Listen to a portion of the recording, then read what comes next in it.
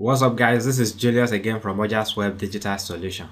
In this video, I'm going to show you one of my favorite features in Google Analytics, and that is the ability to track e-commerce transactions with the help of advanced features in Google Analytics. Right now, I'm in Google Analytics dashboard, and as you can see, this is the default settings for Google Analytics when you create an account. Right, we have the users, we have the sessions, we have the bounce rate, and we have the session duration. If you just set up your Google Analytics account, this is exactly what you're going to see from your dashboard. However, if you have an e-commerce website where you sell some product or services, you would want to track transactions that are happening on your website. And for this, we need to do some advanced configuration in Google Analytics and on the website. And that is exactly what I want to show you in this video. I'm not going to do the configuration in this account, but I'm only showing you this so that you can see the default settings for Google Analytics. I'm going to switch to my personal account where I have configured this particular setting. Right now, I'm in my own Google Analytics account. And as you can see here, I have the users, the revenue, conversion rate, and the session. This is different from the previous one where I have the bounce rate and the sessions and some other metrics. But here I have configured the e-commerce tracking and I want to show you how to start the process in the Google Analytics account. To start this process, I'll go ahead and click on the settings tool at the bottom left corner here. After clicking the setting tools, I will wait for the page to load and the next thing I will do is I will head over to the view column.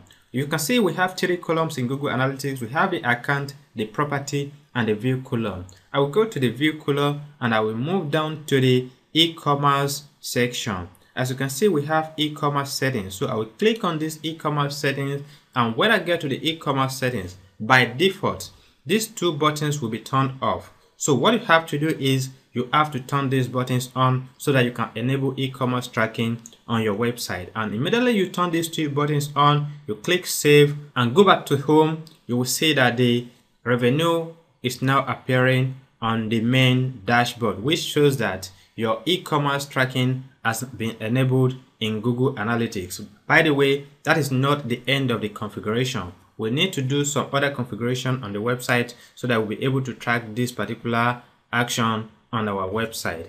I assume that you already have Google Analytics installed on your website and you are using WooCommerce plugin for your e-commerce website. Right now, this is my website. Let's assume I want to buy any of this product on my website. I can go ahead and click on this and look at the product, add the product to the cart and make a purchase. So let's say I look at this product, I add it to the cart and I made a purchase. What I want to see in Google Analytics is I want to see how this action is being performed and where I'm losing some sales and what I can do to improve my sales on my website. Right now, as you can see, I have some data in my Google Analytics dashboard for e-commerce. By the way, I configured this in the last 24 hours and that is why you see just few metrics in this particular dashboard. So the next thing I want to do now is I want to set up the configuration in my website backend and that is when I will go straight to my website and like I said this setting is particularly for WooCommerce users. So if you're using WooCommerce to set up a e-commerce website on WordPress, this is going to be a very helpful tutorial for you. So right now on my WordPress dashboard, I will go ahead and click on plugin and click on add new. So I want to install a particular plugin that will enable me to track e-commerce from my WooCommerce sales. So I will go ahead and type WooCommerce Google Analytics integration. And the first thing you'll see here is WooCommerce Google Analytics integration made by WooCommerce.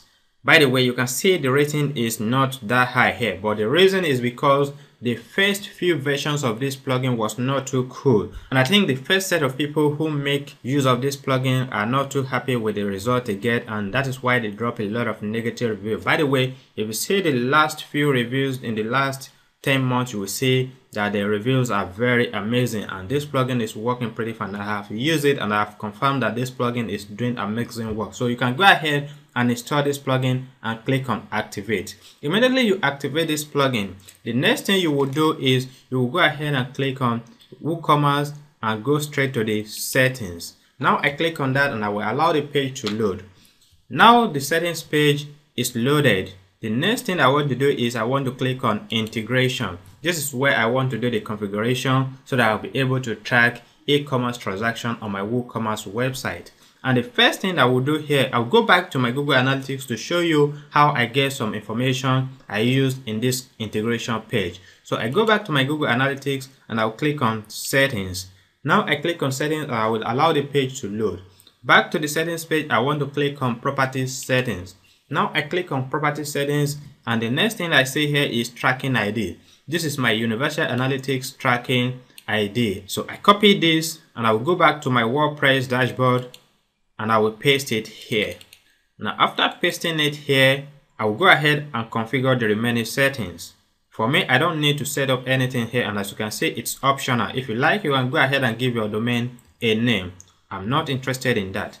By the way, if you have not started tracking activities on your website, you can enable this standard tracking. But if you have already set up your Google Analytics tracking, you don't need to enable this. You can just keep this and go ahead and enable the remaining options. For me, I usually advertise my business on Google and I want to track my display advertising activity. So I'll go ahead and click on this and I will go ahead and select the other options. I selected enable universal analytics, use enhanced link attribution, anonymous IP address, track 404 page not found, purchase transaction, add to cart event, and enable enhanced e-commerce. After enabling all of this, I'll go ahead and click save changes. And immediately I click on save changes, I have finished the configuration to allow me to track e-commerce activities with Google Analytics for my WordPress website. That is how you can go ahead and configure Google Analytics e-commerce tracking for WooCommerce. And I believe if you set up this, you're definitely gonna like it because you will be able to see how your website is performing and the numbers of sales you're getting from your website. But before I go, I will show you one last thing that will be very helpful for you because when you set up your Google Analytics, it is most likely that the currency you are seeing there is not your country's default currency. So in order to change your currency back to your country's default currency, you're going to go back to the settings and after clicking the settings, you are going straight to the view page and the view page, you want to click on view settings. After clicking on view settings, you go straight to the bottom and here you will see currency display as US dollar. I left this as US dollar because my country's currency is not available in Google Analytics. By the way, if your country currency is there, you can go ahead and select the currency and click on save. And that is how you can go ahead and set up your default currency and track e-commerce transaction on your Google Analytics account. I believe you've learned one or two things from this video and if you like the video, feel free to give us a thumb up and subscribe to our channel. Thanks again for watching the video and bye for now.